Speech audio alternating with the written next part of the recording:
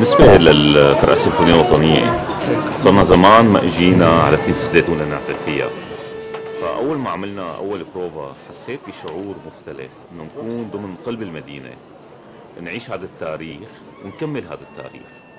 اليوم يمكن لحظة من التاريخ إنه جوقة الفرح اللي عم تعيش احتفال 40 سنة والفرقة السيمفونية الوطنية السورية سوريا اللي رح تعيش احتفال 25 سنة بتأسيسها مجتمعين مع بعضهم المجتمع الأهلي. المجتمع المدني هواة اللي بيعشقوا الموسيقى مع محترفين الموسيقى. نجتمع مع بعضنا كلها لحتى تكون لحتى نكون عيلة وحدة ونعيش دمشق بكل تاريخها.